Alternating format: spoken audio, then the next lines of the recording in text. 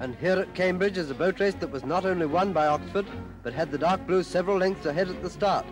It is the ladies' boat race, and Oxford start in front because the river here is narrow, not to make sure they win. Oxford are showing superb form, no wonder the boys are out, and Cambridge are almost ragged by comparison.